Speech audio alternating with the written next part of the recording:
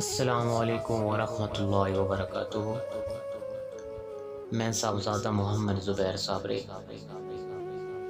उम्मीद करता हूँ कि आप सब दोस्त खैरियत से होंगे। दोस्तों, अगर आप मेरे चैनल पे फ़र्स्ट टाइम है तो मेरे चैनल को सब्सक्राइब कर दें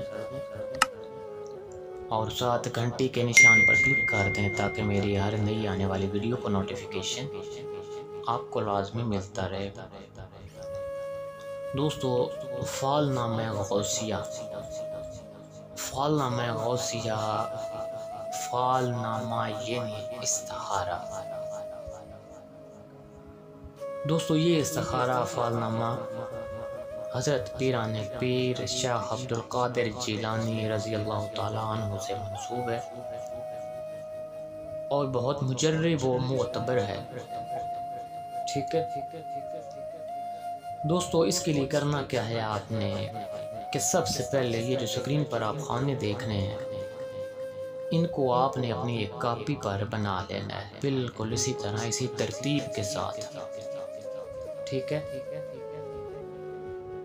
ये खाने बनाकर आप इन खानों के ज़रिए कोई भी इस्तखारा कर सकते हैं, कोई भी फाल निकाल सकते हैं, कोई भी मसला हो, आप इन खानों के ज़रिए मालूम कर सकते हैं। दोस्तों, इन खानों के बारे में मुकम्मल तफसील जो है वो आपको इस वीडियो में बताई जाएगी। ठीक है? अगर वीडियो आप मुकम्मल एंड तक देखेंगे तो आपको तमाम बातें समझ आ जाएँगी। ठीक है? दोस्तों, अगर कोई मुश्किल पेश आए या कोई भी मसला ऐसा वैसा पेश आए जिसका आपको मालूम ही ना हो कि इसका अंजाम क्या होगा तो उसके लिए आप इस्तारा गौसिया फालना में गौसिया को अमल में लाएँ। इसके ज़रिए आप देख सकते हैं कि उसका अंजाम क्या होगा। ठीक है? ठीक है ठीक है दोस्तों, इसके लिए आपने करना क्या है कि ये खाने कापी पर बनाकर आपने एक नाबालिग लड़के को, छोटे बच्चे को अपने पास बिठाना है ठीक है। ठीक है? और उसको अपने काम के बारे में बताना है कि बेटा, ये काम है, इसकी नीयत, इसका मकसद जहन में रखो या अपना मकसद जो है खुद जहन में रख लें और छोटे बच्चे को कहें कि आँखें बंद करके इस जदवल पर उंगली रखें। ठीक है? उस बच्चे को आपने कहना है कि शहादत की उंगली जो है इन खानों के ऊपर रख दे। दोस्तों, इस पर, जिस हिंसे पर भी उंगली आएगी आपको इसकी तफसील इसी वीडियो में मिल जाएगी। इन तमाम खानों की जो तफसील है, मैं आपको इसी वीडियो में बताने वाला हूँ। दोस्तों, नंबर एक नंबर एक की जो तफसील है, अगर नंबर एक पर उंगली आ जाए तो इसका मतलब ये है कि जो नीयत दिल में रखता है, खुदा पर नज़र करके चंद रोज़ सब्र कर तेरे दिल की मुराद पूरी हो जाएगी और खातिर ख्वा तेरी मुराद पूरी होगी। ठीक है? ठीक है ठीक है नंबर दो, फाल नेक है, मुराद पाएगा मतलब दिल के पूरे होंगे इन नंबर तीन, ये काम जो तेरे दिल में है, इससे परहेज कर। ये नहीं, तीन नंबर पे अगर उंगली आए तो इसका मतलब ये निकलता है कि तेरे दिल में जो मसला चल रहा है, ये जो काम तू करना चाहता है उससे परहेज कर, उसको छोड़ दे, वरना तुझे परेशानी होगी। नंबर चार, जो काम तेरे दिल में तूने सोचा है, बतफ़ैल मीरा मुहैयुद्दीन के मिलेगा, खातिर जमी रख इन नंबर पाँच जो चाहता है तू वो पाएगा। अल्लाह के फजल से मकसद तेरा तुझे हासिल होगा। नंबर छ, इस काम में खलल पड़ेगा। चंद रोज सब्र करना चाहिए, आखिर को अच्छा होगा। यानी अगर नंबर छः पर उंगली आ जाए तो इसका मतलब ये है कि जो भी तू काम करना चाहता है, उसमें चंद रोज़ सब्र कर, ताकि उस काम को अच्छा किया जाए। नंबर सात, जो उम्मीद तेरे दिल में है, तू आराम पाएगा और चंद रोज़ सब्र करने के बाद तेरी उम्मीद पूरी हो जाएगी और सब्र करने के बाद इसका अच्छा अंजाम होगा। नंबर आठ, जो नीयत तू दिल में रखता है तो बेहतर होगी। अच्छा है, अंदेशा नहीं करना चाहिए, यानी फ़िक्र नहीं करनी चाहिए। नंबर नौ, जो हाजत तेरे दिल में है, वो अच्छी है, अंदेशा नहीं है, अंदेशा नहीं करना चाहिए इन मुराद हासिल होगी। नंबर दस, जिस काम को दिल में तू सोचता है, वो तुझे मिलेगा, और उम्मीद तेरी पूरी होगी अल्लाह के करम से। नंबर ग्यारह, ये काम बहुत अच्छा है खातिर जमा रख। नंबर बारह, जो इरादा तो दिल में रखता है, तू थोड़े दिनों सब्र कर, इसका अंजाम अच्छा होगा। नंबर तेरह, जो तेरे दिल में बात है, वो अच्छी नहीं है, इससे परहेज कर, वरना शर्मिंदगी हो गई। यानी अगर तेरह नंबर पे उंगली आए तो उसका मतलब ये है कि उसका आदमी के दिल में कोई बात है यानी कोई वो काम करना चाहता है जो कि वो अच्छा नहीं है, उस काम से पीछे हट जाए, वरना उसको शर्मिंदगी होगी। नंबर चौदह, ये फाल बहुत मुबारक और अच्छी है। इसका अंजाम खुदा के फजल से अच्छा होगा। नंबर पंद्रह, जो काम तू अपने दिल में रखता है, वो हो जाएगा, लेकिन तेरा दुश्मन तुझसे बरहम होगा सबर कर। ठीक है? नंबर सोलह, खुदा के कर्म से थोड़ी कोशिश में तेरा काम पूरा हो जाएगा। ये नहीं, अगर सोलह नंबर पर उंगली आए तो उसके लिए सब्र रख, थोड़ी ही कोशिश करने से तेरा काम हो जाएगा। यानी कोशिश करते रहना चाहिए, अल्लाह पाक पर भरोसा रख कर नंबर सत्रह, जो मतलब कि तेरे दिल में है इसको पोशीदा रखने से खुदा इसको पूरा करेगा। यानी नंबर सत्रह पर उंगली आए तो इसका मतलब ये है कि तेरे दिल में जो मकसद है, जो मतलब है, उसको दिल में ही रख। यानी पोशीदा रख, उसको राज रख। किसी से शेयर मत कर तो उसे अल्लाह ताला पूरा करेगा। नंबर अठारह, ये काम होने वाला नहीं है, इससे परहेज कर। यानी नंबर अठारह पर उंगली आए तो उसका मतलब ये है कि उसके दिल में जो भी काम है, जिसके लिए वो सोच रहा है, उसके लिए पीछे हट जाए, यानी वो काम हरगिज भी होने वाला नहीं है। नंबर उन्नीस, इस फाल में निकलता है कि ये काम हरगिज नहीं होगा, इसका करना अच्छा नहीं है, सब्र करें। ठीक है? नंबर बीस, इस काम से परहेज करना चाहिए, थोड़े दिन कोशिश मत कर, खुदा पर छोड़ दे। नंबर इक्कीस, ये काम अलबत्ता पूरा होगा। यानी जो भी काम तेरे दिल में है, चाहे थोड़ी देर भी लग जाएगी, लेकिन पूरा हो जाएगा। नंबर बाईस, इस फाल में निकलता है कि रोज़ी और रजक पाएगा, फ़िक्र मत कर। यानी अगर रिजक और रोज़ी की तेरे दिल में परेशानी है तो वो अल्लाह पाक तुझे अता करेगा। नंबर तेईस, जो चीज़ किसी से मांगेगा, वो तू पाएगा। दिल में वस विसा मत पैदा नंबर चौबीस, जो किसी से सवाल करेगा, खुदा ताला करम करेगा, और जो सोचेगा, वो पाएगा।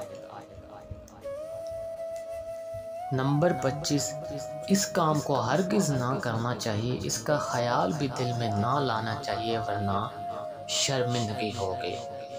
नंबर 26 खुदावंद करीम इस काम को अच्छी तरह से पूरा करेगा, कोशिश कर तो काम होगा।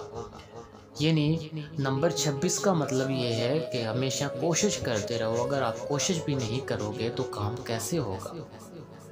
नंबर सताईस जो हाजत तेरी है वो हरगिज़ होने वाली नहीं है। मेहनत और कोशिश ज़ाया होगी। ये जिस काम के लिए तो कोशिश कर रहा है, उससे पीछे हट जा, वो नहीं होगा। नंबर अट्ठाईस, जो तेरे दिल में नीयत है, तेरी मुराद के मुवाफिक उतरेगी। नंबर उनतीस, जो काम के तेरे दिल में है तो सोचता है वो पूरा होगा, लेकिन थोड़े दिनों में होगा सब्र कर। नंबर तीस, ये फाल तो तेरी अच्छी है, लेकिन ख्याल अच्छा नहीं है, थोड़े दिनों ठहर जा। नंबर इकतीस, इस काम में बेकारी और दुश्मन घात में है, जो तू मेहनत करेगा खलल पड़ेगा। ठीक है? यानी फाल नंबर इकतीस के मुताबिक जिस काम को तू कर रहा है, इसमें दुश्मन की कोई चाल है, इसमें खलल पड़ेगा।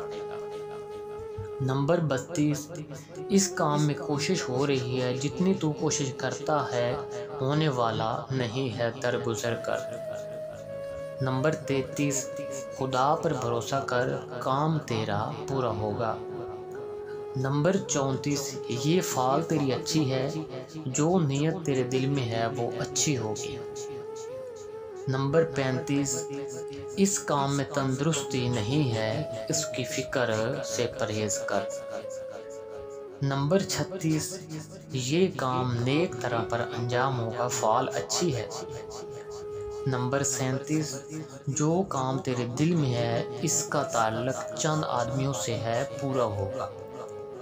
नंबर अड़तीस, तेरी फाल अच्छी है, लेकिन अकीदा दुरुस्त रख। यानी इसकी फ़ाल अच्छी आई है, लेकिन अपना अकीदा मज़बूत करे, अपना यकीन मज़बूत रखे, अपने मुर्शिद कामिल पर, अल्लाह पर। नंबर उनतालीस, इस फाल में निकलता है कि अल्लाह पर नज़र रख और सब्र कर।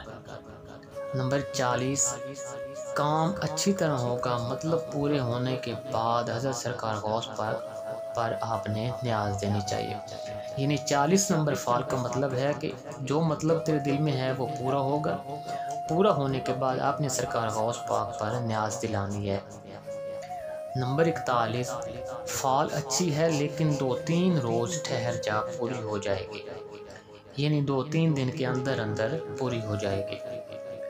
नंबर बयालीस, ये काम तो तेरा होगा और आइंदा को सब कामों में वसविसा मत कर।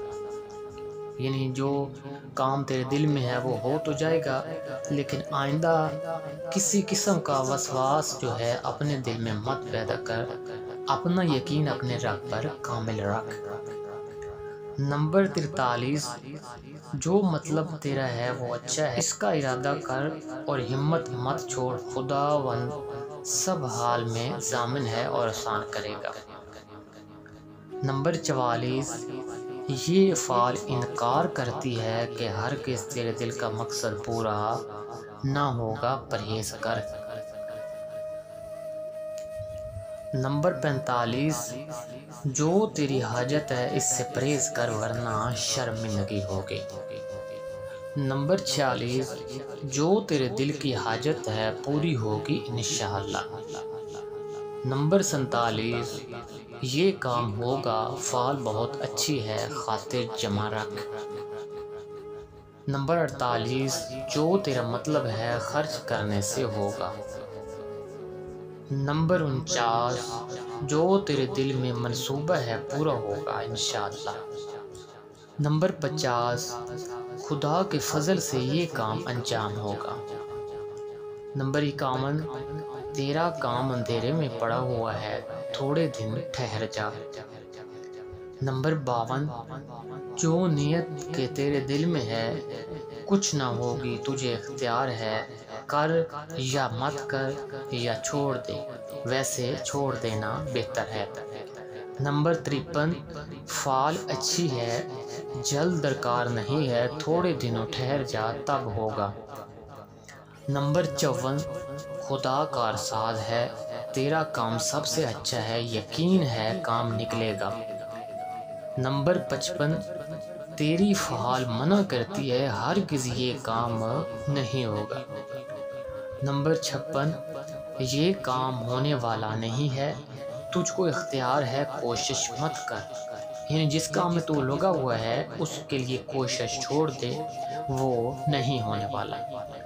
नंबर सतावन तेरा काम जो है, इसमें मेहनत और मशक्क़त की ज़रूरत नहीं है।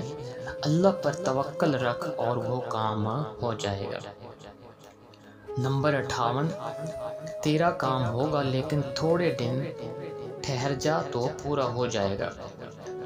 नंबर उनसठ, फाल में निकलता है, जो तू चाहता है वो पाएगा। अल्लाह पाक पर यकीन रख। नंबर साठ, जो तेरे दिल की उम्मीद है, पूरी कभी नहीं होगी पशेमानी उठाएगा।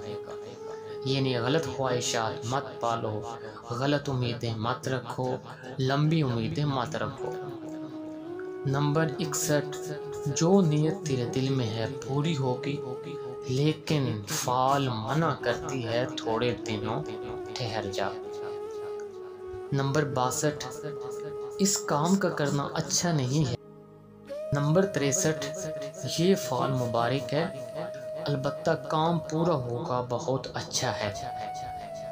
नंबर चौंसठ, ये काम अच्छा नहीं है हर किस करना नहीं चाहिए, फाल मना करती है, इसमें फ़ायदा नहीं होगा।